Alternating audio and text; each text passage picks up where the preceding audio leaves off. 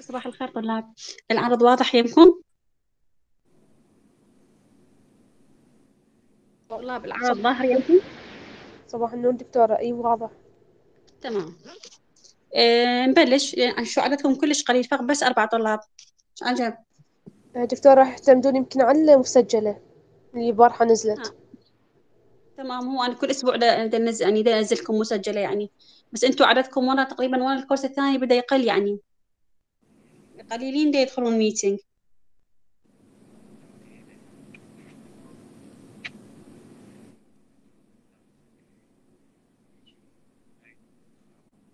آه، طلاب اليوم إن شاء الله آه، آخر محاضرة بالنيماتوج أو ما نسميها بال roundworm إن شاء الله هذا الأسبوع آخر محاضرة أنا وياكم. الأسبوع القادم يكمل وياكم. دكتور علاء. نبأ. نبأ زهير آه، مايكروفون مالتش مفتوح بس سجي آه، إن شاء الله الأسبوع الآخر يبلش وياكم دكتور علاء ونتمنى لكم كل التوفيق وأكون يعني آه، يعني أتمنى أكون قد يعني وفيت المادة وانطيت حقها أو أتمنى تكونون استفاديتوا من المحاضرات اللي انطيتها انطيتها لكم. الأسبوع الآخر إن شاء الله يكمل وياكم دكتور علاء إلى نهاية الكورس. النيماتود أو round worm عندي آخر يعني آخر species اللي هي tissue nematode اللي تكلمت عنها بالمحاضرة السابقة إنه تكلمت عن ال medical important nematode ال nematode المهمة من الناحية الطبية اللي هي أخذتها أني two group. ال group الأول كان intestinal nematode وال group الثاني كان هو tissue nematode الانتستينال نيماتوج عرفناها إنه النيماتوج أو الراوند ووم أو الديدان الخيطية أو سميتها الديدان الأسطوانية المعوية اللي يكون انهبيتنس مالتها بال يعني بالسمول انتستينال أخذت الانتيرو الانتيرو بابس يعني برمسكولاريس أخذت الإسكارس لمبر كود أخذت السترانجولويد ستيروكوراليس أخذت الهوكوم اللي هي كانت آه، اللي كانت هي نيكاتريك أمريكانس وإنجلستوما دودينا دودينالي. أخذت Trich Trichuris Trichinella أخذت Trichinella spiralis الجزء الثاني أو ال group الثاني من النيماتود هي النيماتود اللي راح تعيش بال tissue اللي تعيش بالنسيج أو ما سميتها ال filariasis عندي ال filariasis اللي تعيش بالنسيج تكون هي يعني يعني يضم لي يعني يضم لي جروبين الفليريا اللي راح تعيش بال lymphatic تعيش بالأوعية اللمفاوية والنوع الثاني اللي راح يعيش بالجلد اللي هي كوتنيوس تكلمت المحاضرة السابقة بديت أول شيء بالفيلاريوسز الفليريا اللي الفليريات اللمفاوية اللي راح تعيش باللمف. أني أخذت أول مثال عليها اللي هي كانت وركاريا بنجروفيتس اليوم أجي أكمل السبيتش الثاني اللي اللي يعني اللي اللي السبيتش الثاني اللي اللي يعني يعني أعتبره أني من ضمن مجموعة الفيليريوسز اللي هي البرجيا ملاي. البرجيا ملاي هي عبارة عن دودة أسطوانية أو خيطية. Is roundworm, nematode, one of the third causative agent of lymphatic filariasis. إذا البرجيريا ملاي هي تعتبر دودة هي هي واحدة من الديدان الأسطوانية أو الديدان الخيطية. تعتبر واحدة من يعني من من من العوامل الثلاثة اللي تسبب داء الفيليريات اللمفاوي. وين في داء الفيليات اللمفاوي؟ ان هيومان في الإنسان. لمفاتيك فيلاريوسيس يعني اورزون يعني اولسو ناو يعرف أيضا داء الفيلاريا اللمفاتيك فيلاريوسيس يعرف يعرف بمرض الاليفنثوسيس اللي سميناه داء الفيل أو ما سميناه قدم الفيل. طبعا هذا هو شلون راح نعرف قدم الفيل. هو عبارة عن سوينج التورم اللي راح يكون باللور ليبس التورم يعني التورم اللي راح يكون أو الانتفاخ اللي راح نلاحظه بالأطراف الخلفية خاصة في منطقة الساق.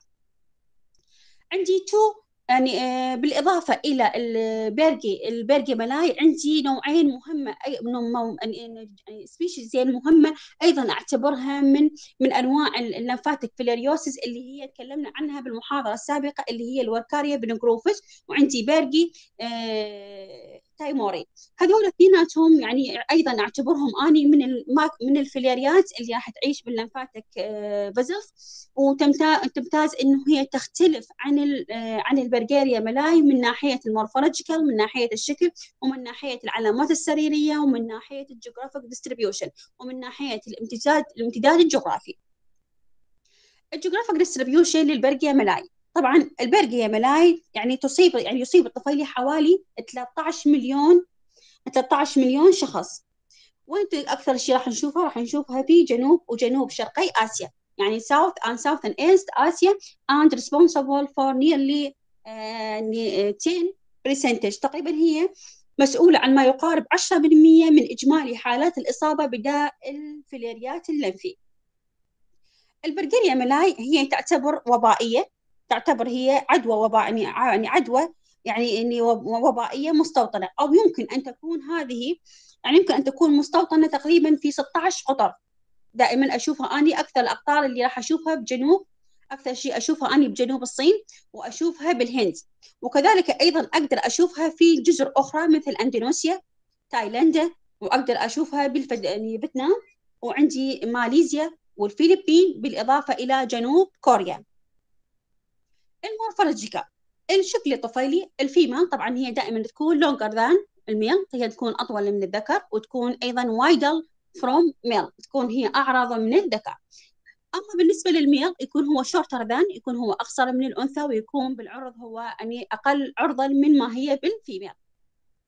ال microfilaria اللي هي تعتبر لي diagnostic stage ال microfilaria اللي هي تعتبر لي diagnostic stage واللي أني أعتمد عليها إنه أشخص الإصابة إذا كانت تعود لل lymphatic filariasis عن طريق أبحث عن وجود ال microfilaria الموجودة بال peripheral peripheral blood الموجودة بالدم المحيطي أو موجودة بال circulation blood الموجودة بالدم اللي اللي دائما آخذ أسوي مسحة سمير أسوي مسحة blood smear حتى أدور على وجود ال microfilaria ال microfilaria طبعا هي القياس مالتها 177 إلى 230 نانومتر diameter وتمتاز إنه النهاية النهاية أحد النهايتان مالتها تكون مدورة والثانية تكون الخلفية تكون يعني يعني تكون حادة تمتاز الفيليريا إنه تكون حاوية أو مغلفة أو تكون حاوية على ال sheath، ال sheath نسميه الغمد أو الغلاف، طبعا هذا ال sheath أو الغمد أو الغلاف هذا وين من من تحصل عليه؟ تحصل عليه من قشرة البيضه.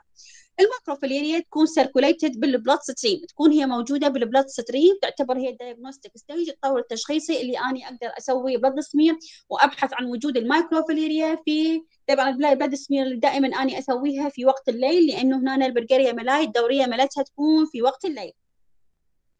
عندي ال microfilaria يعني تكون تبقى محافظة على الغلاف ملتها لحد ما انه لحد ما تدخل المعدة الحشرة الناقلة. لحد ما تدخل المعدة مال ال mosquitoes البعوض ذاك الوقت إنه ال microfilaria تفقد بفعل الإنزيمات الهاضمة راح تفقد الغلاف ملتها هذا هو الشكل شكل ال Brugia malayi. طبعا هاي موجود بالعقد اللمفاوية ها شكل الطفيلي البالغ. طبعا هاي يعني هو histological examination بال يعني عن طريق التصبيغ بال hematoxylin and eosin.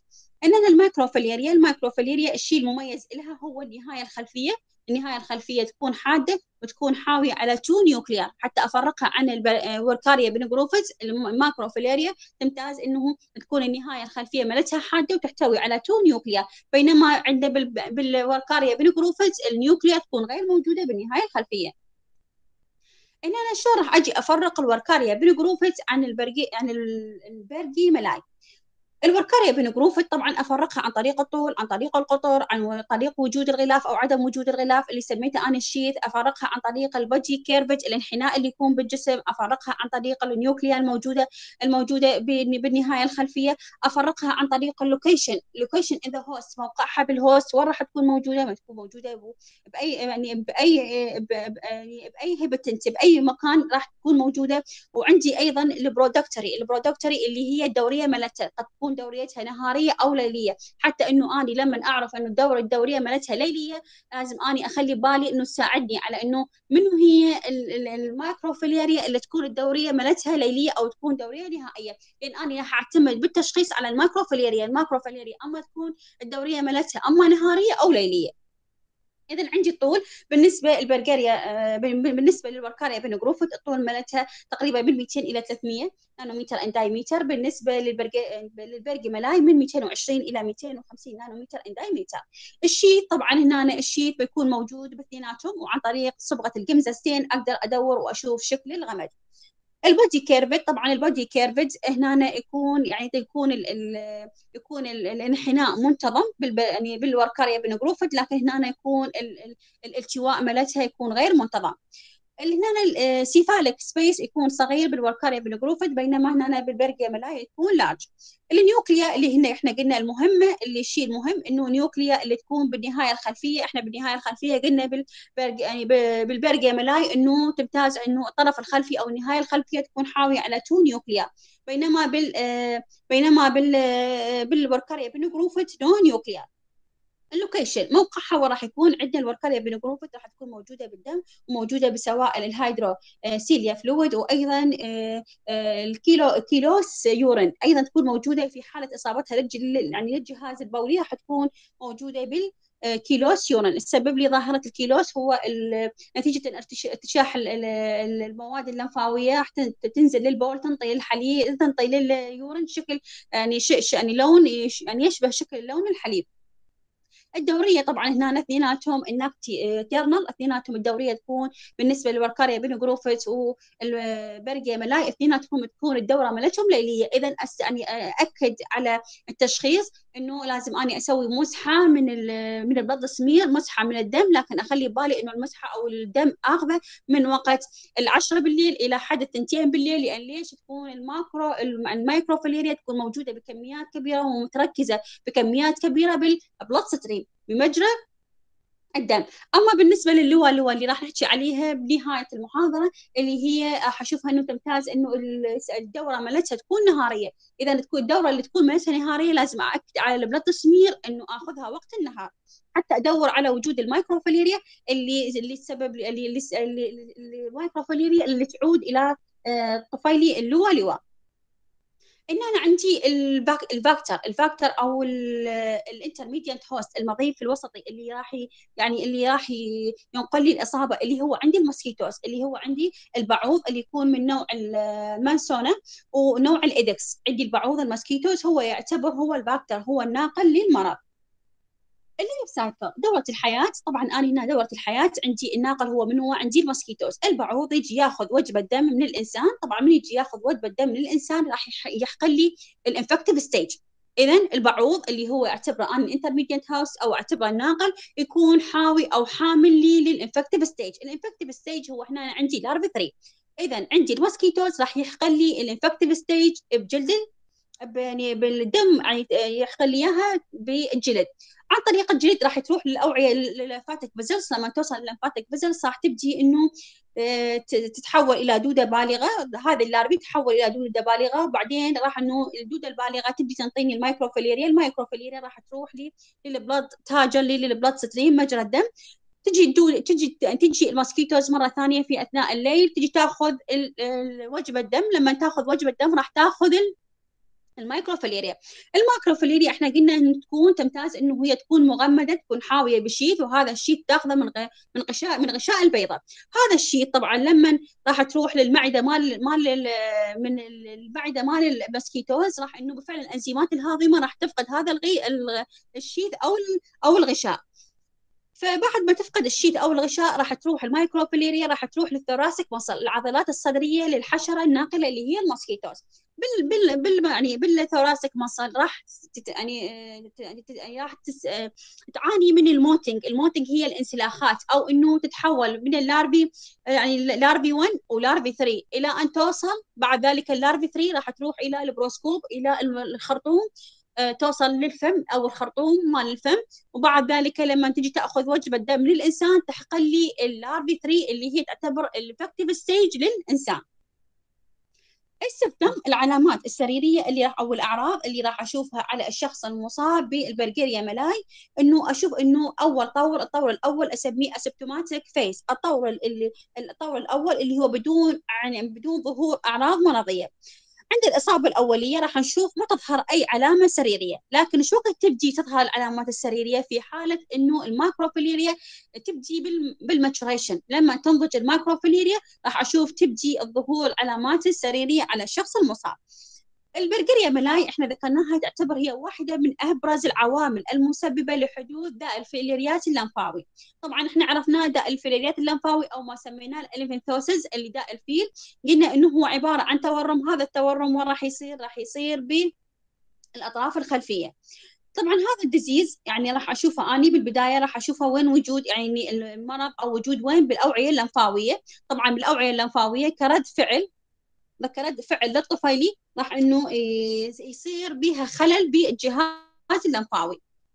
من العلامات المميزة اللي راح أشوفها على الشخص المصاب بال Brugia malayi طبعا أكو علامات علامات هي مشابهة للعلامات اللي شفناها بال Wuchereria بال bancrofti اللي هي العلامة عندي أول علامة اللي هي ال fever ثاني علامة ال lymphadenitis هي التهاب العقد اللمفاوية lymphangitis هي التهاب الأوعية اللمفاوية عندي ال lympho يعني lympho lymphoedema اللي هو معناته ال elephantiasis اللي هو داء الفيل وعندي secondary infection بكتيريا هسه أجي أعرف شنو ال lymphadenitis ال lymphadenitis هو هو عبارة عن التورم اللي راح يصير بالعقد اللمفاويه أشوف العقد اللمفاوية راح يصير بها swelling طبعا شو وقت يصير عندي swelling بالعقد اللمفاوية في يعني في بداية في البداية يعني إنه بعد ال microfilaria تكون un maturation تكون غير ناضجة.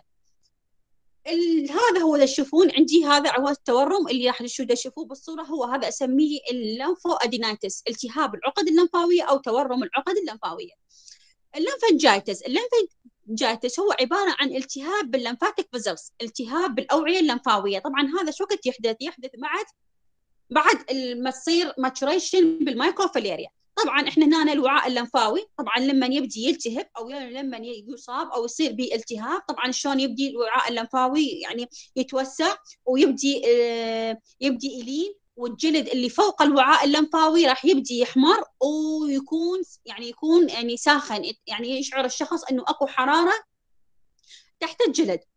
بعد ذلك نشوف يعني بعد ذلك إنه بسبب إنه ال microfilariae بسبب ال microfilariae راح نشوف إنه راح تتكون abscess وتكون ulcer هذا تشوفون هنا ال ulcer اللي هو سبب حدوث ال lymphangitis طبعا هذه راح نشوفها طبعا هذه تصيب اللي نشوف ال lymphangitis تتكون ال ulcer بسبب ال microfilariosis ال lymphoedema من العلامة السريرية الثالثة اللي راح نشوفها ال lymphoedema أو سميناها ال ele ال elephantiasis ال elephantiasis يعني داء الفيل أو قدم الفيل. هو عبارة عن تضخم بالأطراف بالأطراف. إحنا وين التضخم بالأطراف؟ دائما يكون بالساق أو بالذراع. طبعا شو راح نشوف؟ بسبب إنه التضخم اللي اللي راح يصير يعني هذا التضخم اللي راح يصير بالأوعية اللمفاوية إيش راح يقود؟ يقود إلى انسداد يعني الانسداد بالأوعية اللمفاوية. هذا الانسداد شلون راح يحدث؟ يحدث بسبب اما إنه الديث ادلت وورم الدودة يعني يعني الدودة يعني يصير لها ديث تموت أو إنه بسبب بسبب ال inflammation يعني fibrosis أو التليف الالتهابي أو إنه بسبب الورم يعني بسبب التفاعلات الورمية الحبيبية. اذا داء الفيل راح يسبب تضخم الأطراف. تضخم الأطراف النهائية اللي هي enlargement of the of the limb of the limbs. لما تتضخم الأطراف النهائية راح يسوي هذا تهيج تهيج مستمر للأوعية اللمفاوية. لما يصير تهيج للأوعية اللمفاوية راح ينسد الوعاء اللمفاوي. اذا الوعاء اللمفاوي سبب الانسداد مالته. أما يكون قال إنه طفيلي صار له death أو إنه سبب يعني التليف الالتهابي أو بسبب بسبب التفاعلات الورمية الحبيبية. هذا ما يؤدينا إلى أن ينتج لنا داء الفيل. وداء الفيل قلنا دائما وين راح يكون يرتكز الإصابات؟ تكون في الأطراف الخلفية اللي هي ال legs اللي هي الساق وال arms الذراع. هذا هو ال elephantiasis ال diagnostic. شلون راح أشخص الشخص اللي مصاب بال يعني Brugia malayi؟ أشخص عن طريق إحنا قلنا ال diagnostic stage الطور التشخيصي هو عندي اني من هو ال microfilaria ال microfilaria تمتاز إنه الدورية مالتها تكون ليلية. اذا أعتمد بالتشخيص على ال microfilaria ال microfilaria طبعا هي أنا راح أسوي blood smear blood smear إنه أخلي ببالي لازم اني الشخص المصاب آخذ منه العينة من الساعة 10 بالليل لحد الساعة 2 ليش؟ لأن ال microfilaria تكون موجودة تكون موجودة بمجرى الدم لأن هي عندها هجرة هجرة ليلية. اذا بعد ذلك راح أسوي thick smear يعني thick blood smear وأجي اصبغها بصبغة الجمدة أو صبغة ال hematoxylin على الاي أو سي واني أدور أو ألاحظ وجود ال microfilaria أو أعتمد على إنه أدور على ال microfilaria عن طريق الفحوصات السيرولوجية. في حالة الإصابة بال Brugia malayi راح أشوف إنه الاي جي جي 4 يكون يرتفع في حالة الإصابة بال filariasis ال treatment ال treatment أنا أقدر أستخدم ال diethyl carba يعني ال carbamazine اللي هو يعتبر drug choice أقدر أستخدم دوكسوسايكلين انتي 200 ملغ يوميا لمدة يعني لمدة أربع إلى ست ستة أسابيع. في حالة الشخص إذا كان عنده ال elephantiasis داء الفيل لازم أخلي بالي إنه ال chemotherapy يكون غير فعال. لازم إنه أسوي تداخل جراحي حتى إنه أشيل التليفات اللي أو التغيرات اللي فيه أو أو اللي اللي صارت بسبب حدوث بسبب بسبب الإصابة الطفيلية.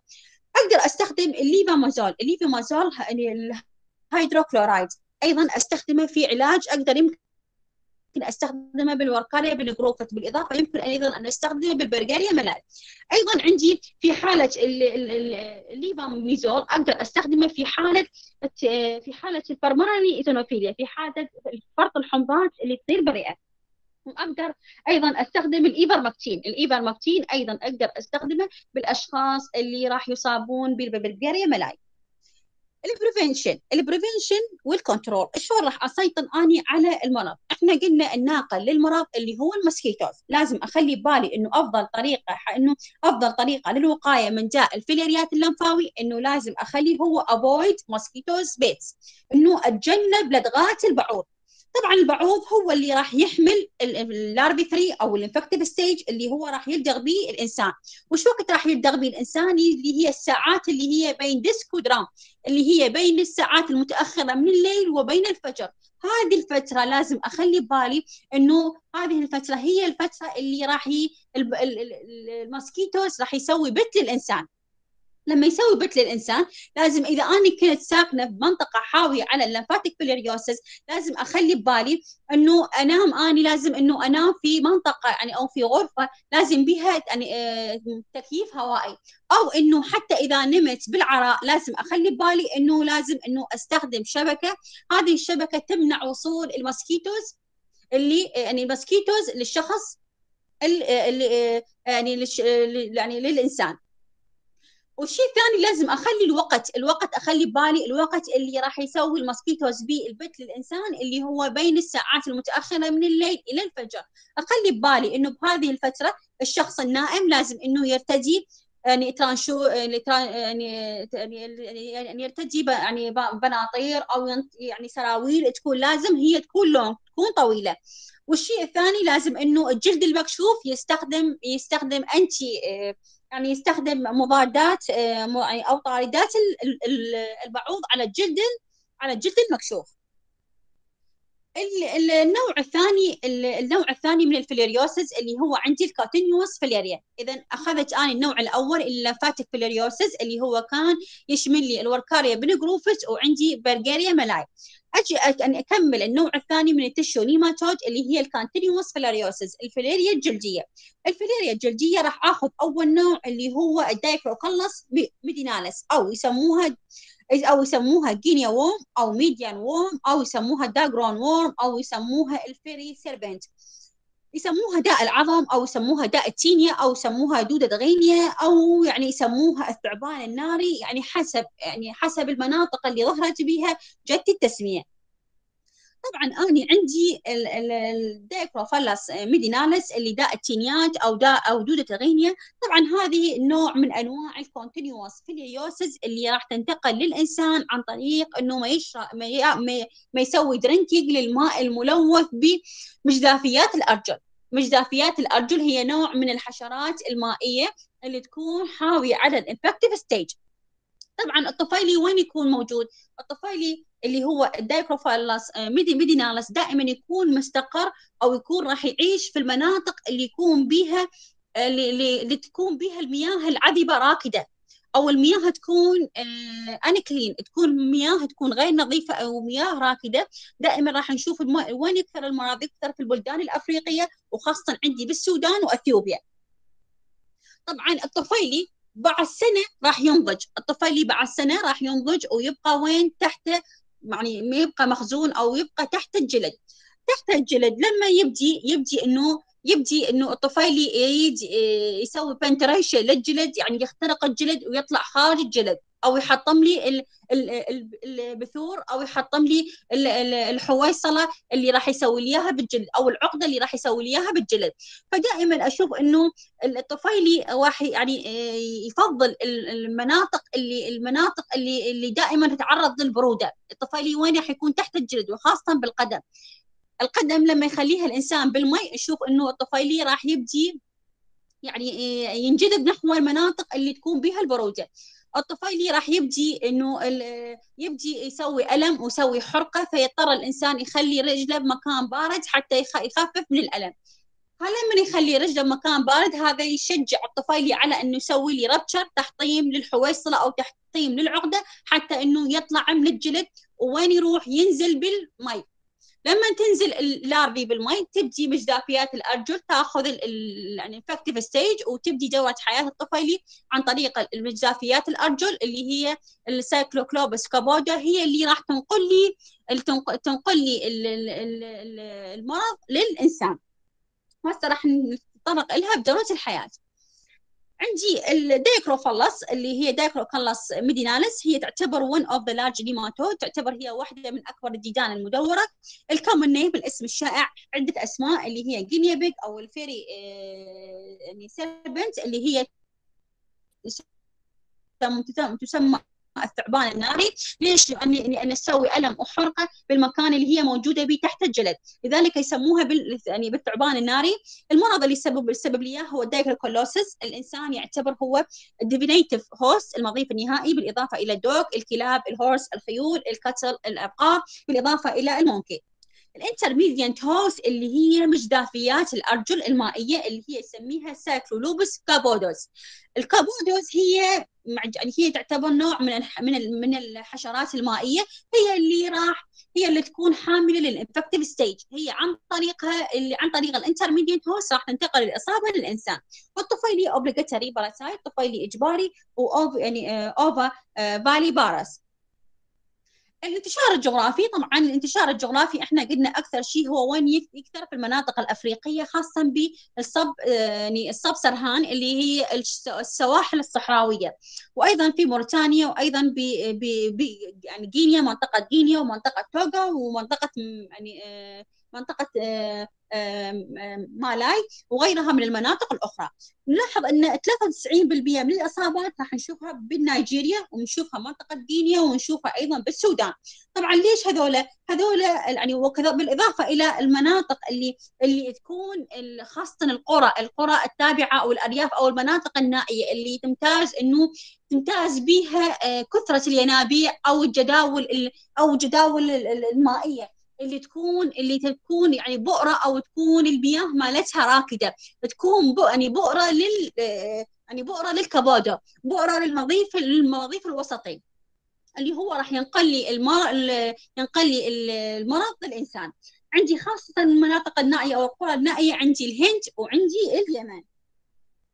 شكل الطفيلي طبعا ال adult female هي تكون هي larger than female وعندي تمتاز إنه يعني تمتاز إنه الطفيلي ال mouth مالته يكون هو يكون صغير ويكون حاوي على يعني صفائح هذه الصفيحة هذا يعني تكون حاوي على آه، صفيحة مثلثه الزوايا. الفم يكون صغير ويكون مثلث وإلى صفيحة صفيحة تكون هذه مربعة يعني مربعة الشكل. وعندنا الشفاة تكون معدومة بال male and female وأيضا ال microfilaria تكون موجودة في آه، موجودة يعني آه، آه، تكون تنتج عن طريق ال female. عندي ال life cycle ال life cycle لل Dracunculus filariosis طبعا الإنسان هو راح يصاب عندما إنه يسوي لي أن drinking عما يسوي لي drinking unfiltered water الإنسان راح يصاب عن طريق إنه ما يشرب المي. هذا المي اللي يكون unfiltered يكون المي غير ملوث المي المي الغير مرشح واللي يكون حاوي على ال intermediate host. ال intermediate host اللي هي سمينا ال copepods. ال copepods اللي هي نوع من أنواع المجاذيف المائية اللي تكون هي حاوية على ال infective stage اللي راح ينقل للإنسان عن طريق إنه ما يشرب المي الملوث بال copepod. اذا بعد ذلك ال copepod لما راح يروح للإنسان راح يروح للإنسان راح يروح للمعدة مال الإنسان وبالمعدة مال الإنسان للأمعاء بفعل الأنزيمات الهاضمة المجداف أو ال copepod راح يموت بفعل الأنزيمات الهاضمة. لما يموت إيش راح تطلع لي؟ تطلع لي ال larvae 3 ال larvae 3 طبعا ورا ما تنضج ال larvae ورا ما تنضج. راح يعني تتحول إلى ال adult. ورا ال adult راح تنطيني male and female بعدين ال female ال male يموت وال female تبدي تنطيني تنطي يعني تنطيني ال microfilaria اللي وين راح تكون تكون هي موجودة موقعها بال subcutaneous tissue أي إنه وين راح تكون موجودة بال يعني بال skin surface اللي هي تحت الجلد. تقريبا ال female راح تبقى 1 years الأنثى راح تبقى 1 years تحت الجلد طبعا لما تبقى الأنثى وين راح تبقى؟ تبقى تكون لي عقدة أو تكون لي حويصلة أو تكون لي بي blister اللي تحت الجلد وتبقى بيها يعني موجودة اللارفي.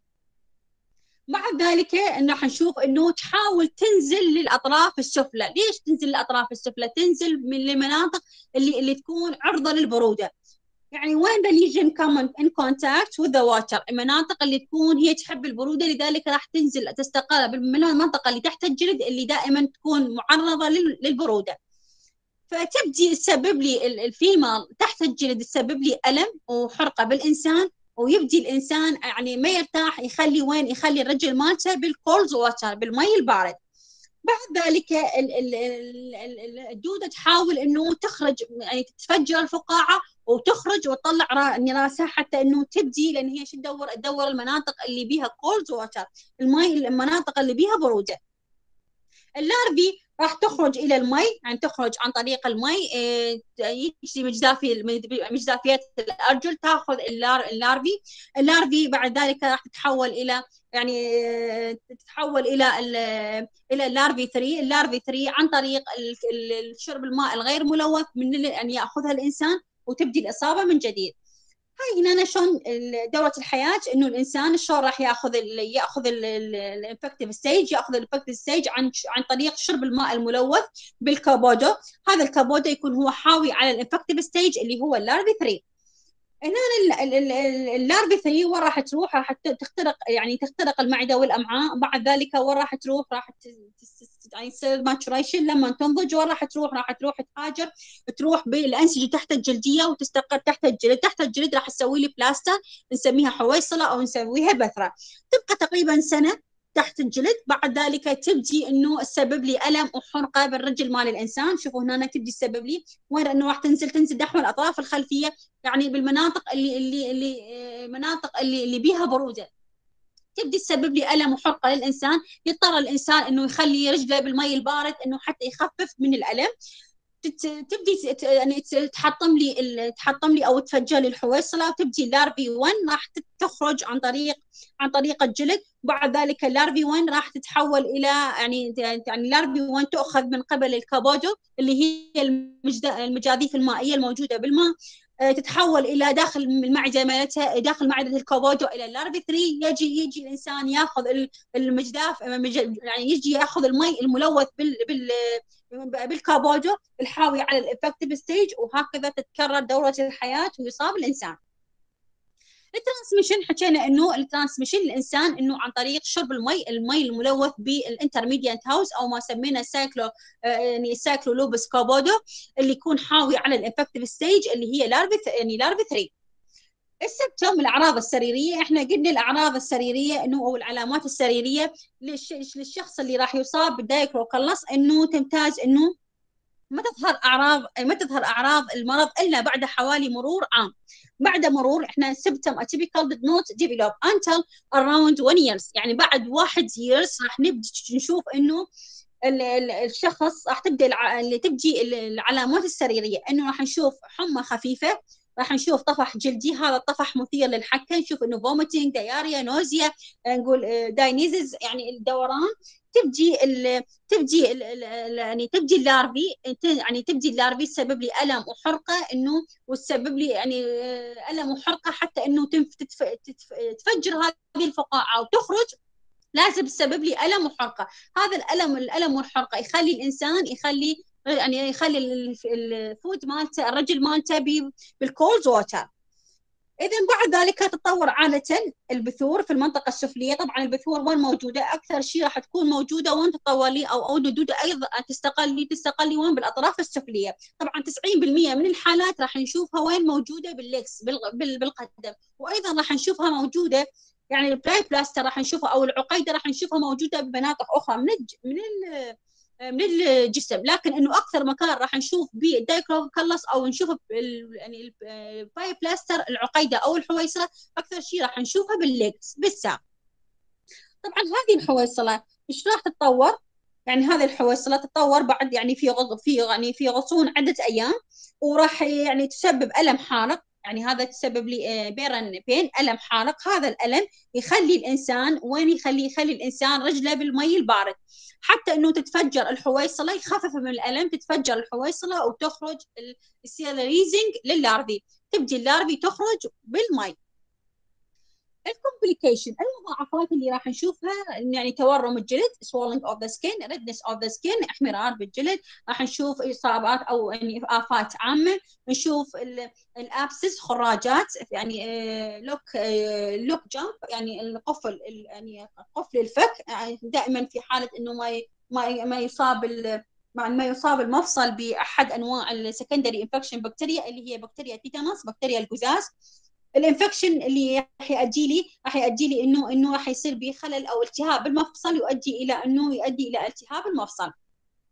ولازم أني أخلي ببالي إنه لما تبدي دودة تخرج تبدي الدودة تفجر ال blister أو تخرج لازم أخلي ببالي لازم أني أسحب الدودة على راحة الدودة. لازم أني أخلي ببالي ما أضغط وأسحبها لأن إذا أسحبها وتن... وتصير breaking أو تنقطع أو يصير cutting بالدودة راح تسبب لي حدوث inflammation يعني التهاب يعني التهاب كلش شديد. فأخلي ببالي لازم أني من أسحب الدودة أسحبها على راحة إيدي. الدايجنوستيك طبعا أنا ما عندي طريقة موثوقة يعني للتشخيص غير إنه غير هي إنه طريقة التشخيص مالتي اللي يعتمد عليها عن طريق خروج أو ظهور الدودة البالغة من موقع الموقع البثرة من موقع الحويصله من تخرج الدودة؟ أنا أخلي ببالي إنه تبدي أو أشوف الدودة أو رأس الدودة أخلي ببالي إنه هذه الطريقة اللي هو أقدر بها هي هاي اللي الطريقة اللي أقدر بها أميز أني أسوي diagnostic للدودة.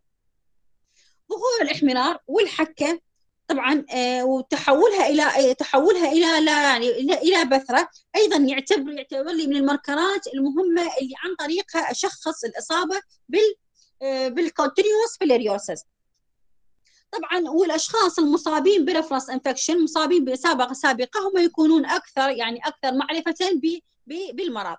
ال treatment أنا هنا ما عندي drug أو إنه vaccine فعال حتى أعالج به الدودة فقط إنه العلاج مالتي المناسب هو إنه أسوي ريموفال للوم يعني أزيل الدودة وأخي وأسوي care أسوي رعاية لمنطقة لمنطقة البثرة.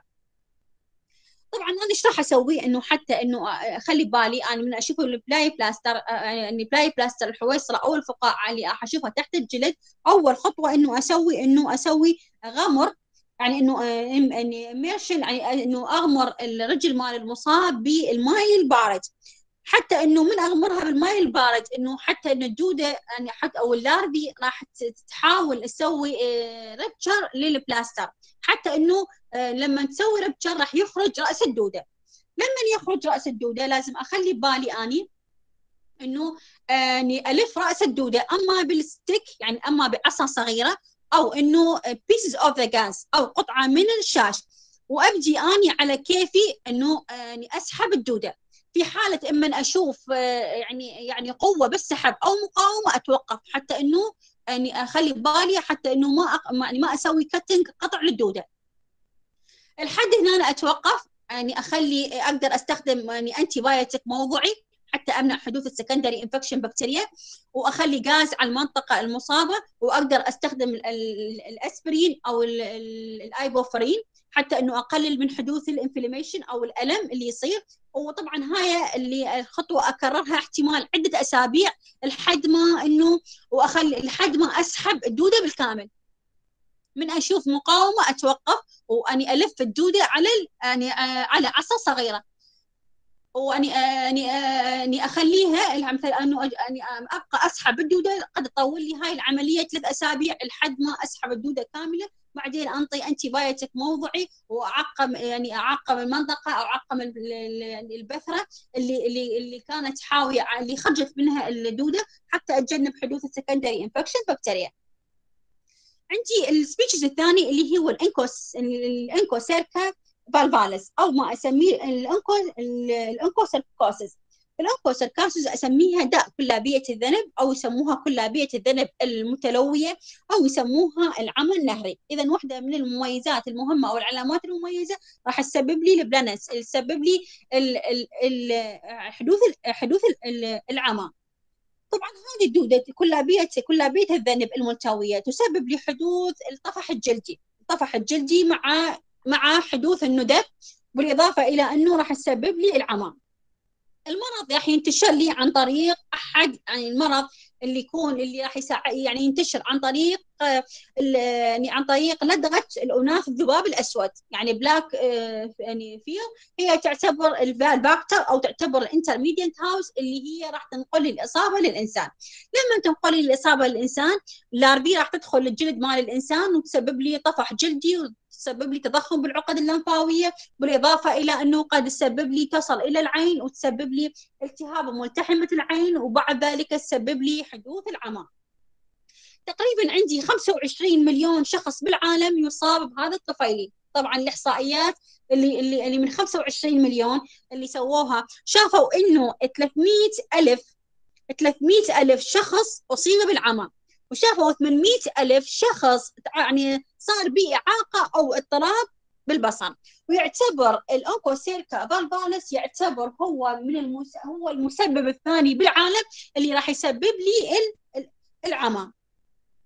طبعا هو هذا الطفيلي. طبعا هو يعني يعني هذا النوع من ال filariasis طبعا يكون إحنا قلنا إنه ينتشر عن طريق من خلال يعني عن طريق عضة الذباب الأسود اللي هي تكون الحاوية على ال infective stage هذا الذباب الأسود وين تتوالد تتوالد بالجداول أو المياه الراكدة أو المياه العذبة. ومن هنا جاءت التسمية بالعمى بالعمى النهري يسموه العمى النهري يعني سبب العمى إنه هو الناقل الناقل اللي حاوي على ال infective stage راح يعيش به بالقرب من الأنهار. لذلك يسموه العمى النهري أو إنه واحدة بالمميزات اللي هو راح يسبب لي إياها الطفيلي يسبب لي حدوث العمى.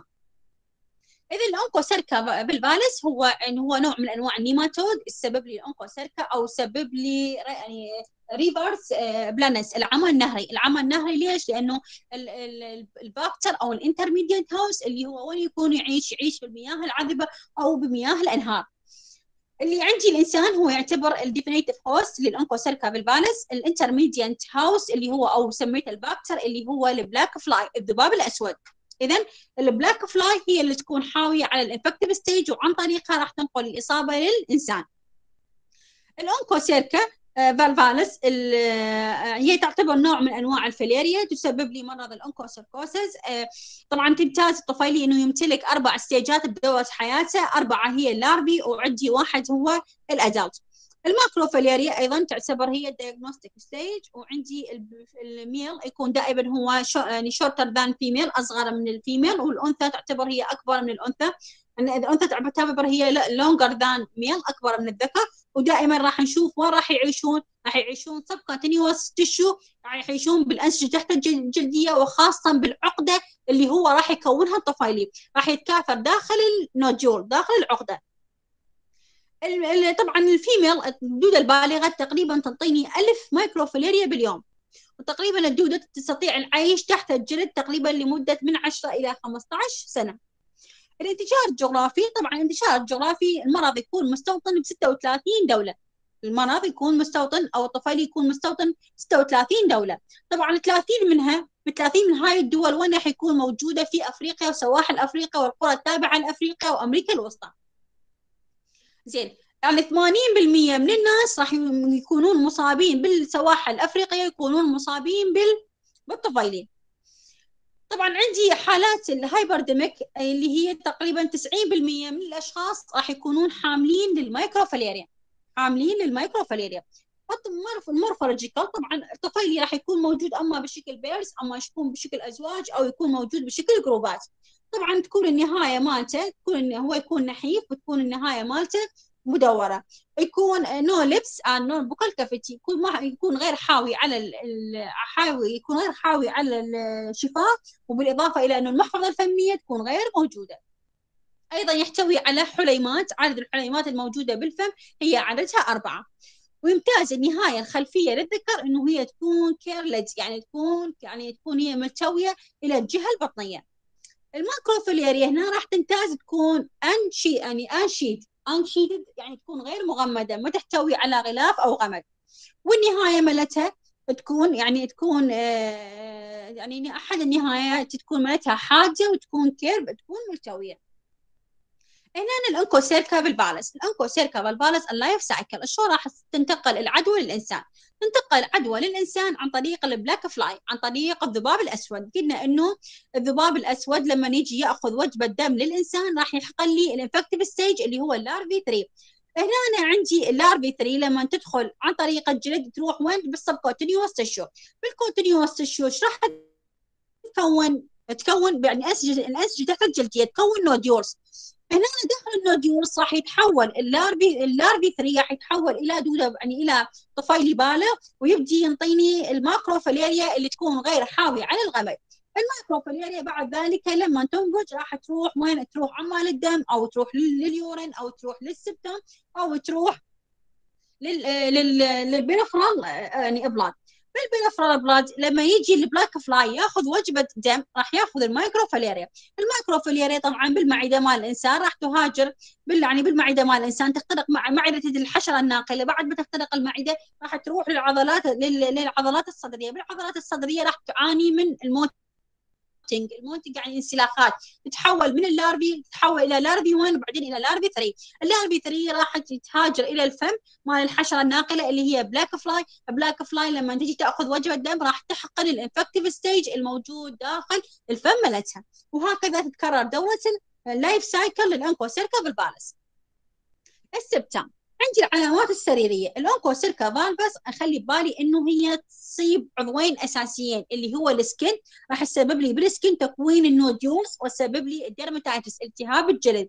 وأيضا راح تصيب للعين وتسبب لي التهاب ال conjunctivitis أو التهاب قرنية العين الأمامي أو المتصلب. راح تسبب لي حدوث ال blindness. ال blindness يعني العمى. هنا عندي ال subcutaneous or deep nodules. طبعا العقيدات الجلدية تكون حاوية على contain adult worm تكون حاوية على طفيل البالغ. طبعا أنا شو راح أشوف هاي العقيدات؟ لما أجي أباوع عليها بالعين المجردة. أو انه أجسها راح أشوف وجود يعني بالجس عن طريق يعني عن طريق ما أجس العقدة راح أشوف إنه العقدة حاوية على ال adult worm الدودة البالغة. طبعا هنا العقدة مين مين راح تتكون؟ العقدة راح تكون حاوية على تكون حاويه على خلايا التهابية حاويه على يعني inflammatory cell حاويه على fibrotic tissue حاويه على آه، يعني fibrotic tissue حاويه على يعني آه، يعني تكون هي يعني يعني الأنسجة متليفه بالإضافة تكون هذه الأنسجة المتليفة تكون بنسب مختلفة. وبعد ذلك إيش راح تصير بالعقدة؟ راح تصير بها يعني calcification تتكلس. طبعا أنا وين راح أشوف المصاب؟ المصاب راح وين تصاب؟ يعاني المريض من تضخم بالعقد اللمفاوية الاربيه أو العقد اللي هي الفخذية. اذا وين تستقر ال Onchocerca؟ تستقر بالعقد اللمفاوية اللي تحت الجلد خاصة في العقد اللمفاوية الاربيه والعقد اللمفاوية اللي تحت الفخذ، هاي المناطق اللي راح تستقر بها يستقر بها الطفيلي. وتسبب طبعا التهاب local localization swollen تسبب التهاب موضعي بال بال بال يعني بال بالأعضاء التناسلية والفتق الاربي التهاب الجلد طبعا ال Onchocerca تسبب التهاب الجلد التهاب الجلد اللي هو سببه هو وجود ال microfilaria سببه هو وجود ال microfilaria طبعا ال microfilaria راح تسبب لي حكة بالجلد. طبعا وهذه الحكة الشديدة تدل أو إنه تعتبر ك marker على إنه الشخص مصاب بإصابة خفيفة. شخص مصاب بإصابة خفيفة. طبعا ال skin lesion دائما أنا أشوف ال skin lesion من راح يتكون ال skin lesion يتكون من طفح جلدي هذا الطفح الجلدي آفات ثانوية. أشوف تقرحات اني ulceration أشوف يعني lichen lichenification أشوف تقرحات تقشرات بالإضافة إلى أنه أشوف mild and moderate lymphadenopathy أشوف اعتلال عضلي يكون يعني يكون يعني خفيف إلى متوسط ويمكن أيضا نشوف تشوهات الجلد الأخرى نشوف أيضا وجود تشوهات يعني other skin أو يعني abnormal تشوهات جلدية أخرى اللي هي إيش تتضمن؟ تتضمن مثل التجاعيد آه، تتضمن الضمور يعني ضمور البشرة أو فقدان المرونة مال مال البشرة. عندي أو إنه الجلد قد يصاب يعني إنه يصير بترهل بالجلد. تكون طيات بالجلد لذلك إيش يسموه؟ يسموه hanging يعني groin. يسموه يعني, يعني الجلد المتدلي. أيضا تسبب لي ال Onchocerca يعني هاي تسبب لي أيضا آه، يعني الأكزيما بالجلد. يعني أو التهاب موضعي بالجلد أو الأكزيما الجلدية أو سبب التقرن أو قلة قلة يعني الاصباغ وهاي طبعا نشوفها في مناطق محددة خاصة عندي باليمن والسودان. ال eye ال eye disease إحنا قلنا هي واحدة من العلامات السريرية اللي راح يسبب لي إياها. ال Onchocerca هي ال blindness اللي هي العمى الليلي بسبب انه هي العمى بسبب إنه ال vector أو ال intermediate host اللي اللي يكون حاوي على ال infective stage اللي هو راح يكون موجود وين؟ يكون موجود أو يتكاثر بالمناطق العذبة المناطق النهرية. هنا أنا عندي يعني يسبب لي يسبب لي يعني دائما ال Onchocerca إيش راح تصيب؟ تسبب لي ضعف البصر الخفيف إلى العمى الكامل، تسبب لي يعني mild visual يعني impediment to complete blindness يعني تسبب لي العمى يعني ضعف البصر يعني إلى العمى الكامل. طبعا وين هاي تكون تشمل لي؟ دائما تشمل لي الاجزاء الأمامية من العين. طبعا إيش راح يسبب لي؟ يسبب لي التهاب القزحيه، التهاب القزحيه النقطي أو ما يسموه نقطة الثلج، إنه إيش راح تسوي لي؟ تسوي لي نقطة بالقزحيه مال العين بيضة، لونها أبيض يسموها يعني نتفه الثلج أو يسموها التهاب القرنية النقطي، اللي نقطي راح ياخذ لنا أو يعطينا شكل نقطة بيضاء. تسبب لي ارتشاحات يعني حادة يعني أو إنه تسبب لي التهاب القرنية المتصلب، التهاب القرنية المتصلب إنه هو آه، أو تسبب لي التهاب القزحية الأمامي أو تسبب لي التهاب بؤبؤ العين بسبب إنه ال larvae اللي تكون موجود يعني اللي راح تخترق ال conjunctivitis وهنا هسه راح نشوفها شلون يعني شكلها. إن شاء الله بالصور. ال diagnostic شلون راح أشخصها أشخصها عن طريق إنه هنا الطفيلي هو راح يكون ال larvae أو إنه راح يستقر بالعقد فيأخذون قصاصة من الجلد ويبدون هذه القصاصات من الجلد يبعثوها لل PCR، ال PCR هو راح يشخص لي نوع الطفيلي المسبب لي المس... نوع الطفيلي أو نوع ال cutaneous filariasis اللي اللي يصاب بها الإنسان.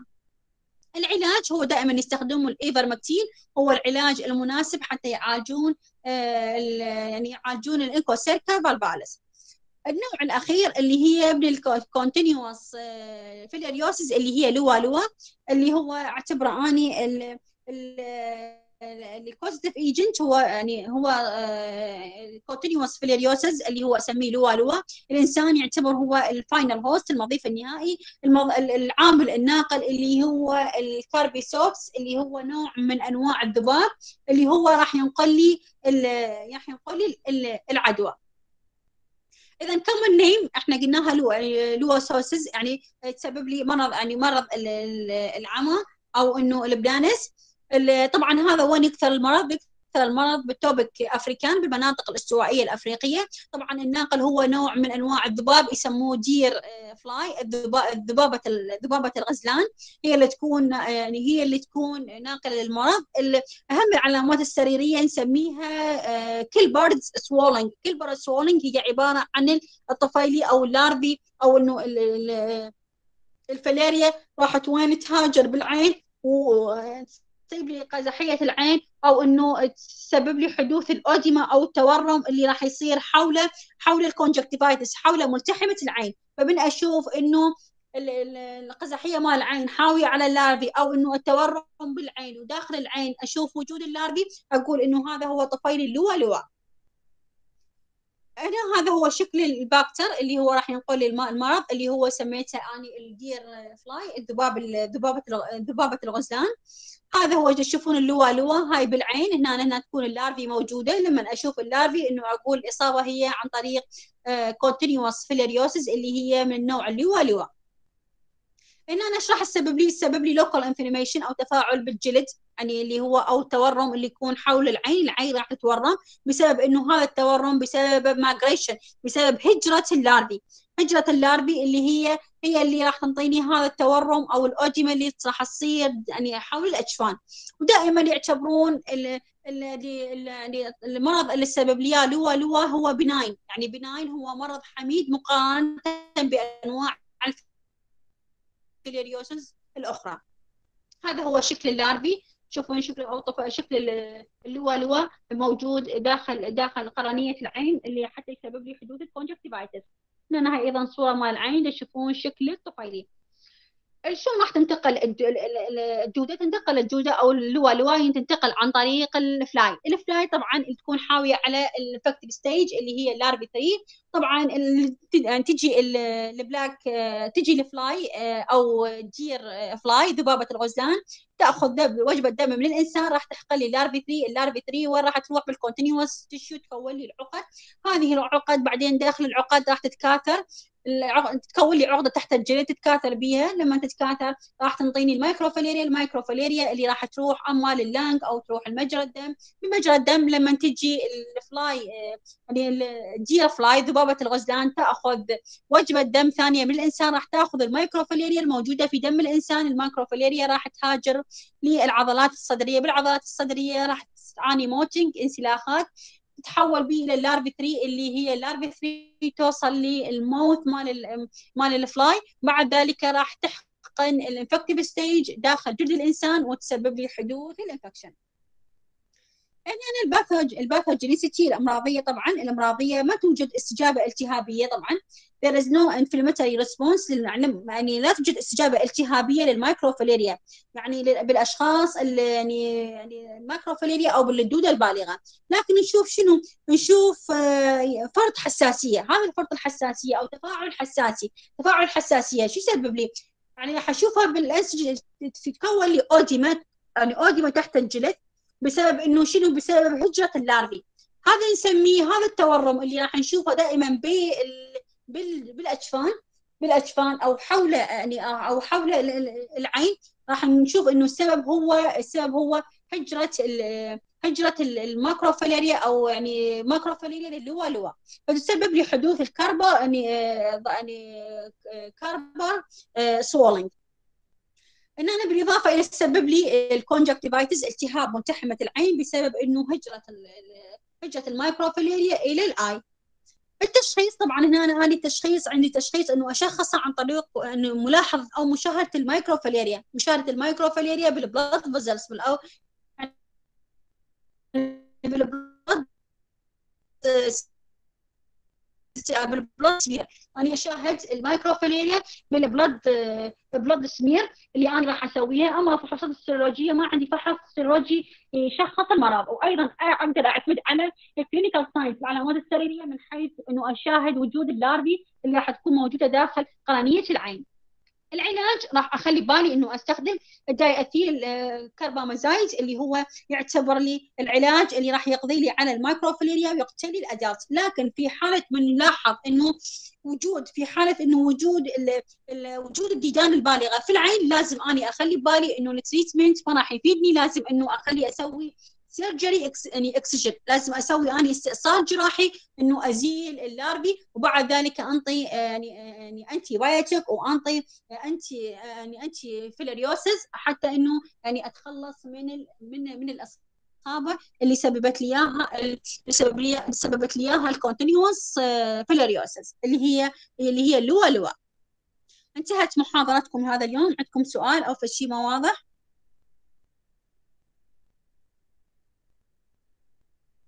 طلاب عندكم فشي ما واضح؟ إذا ما عندكم فشي تفضلوا. الأسبوع الآخر إن شاء الله يكمل وياكم. دكتور علاء.